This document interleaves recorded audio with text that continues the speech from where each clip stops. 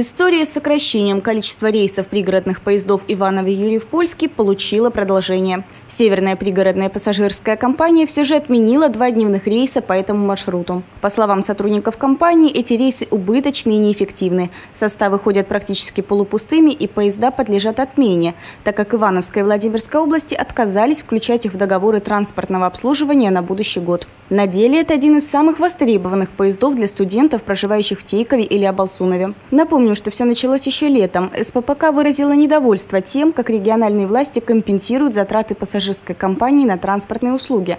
И встал вопрос отмены рейса Иваново-Юрьев-Польский. Сперва чиновники решили подать в суд, а чуть позднее приступили к переговорам.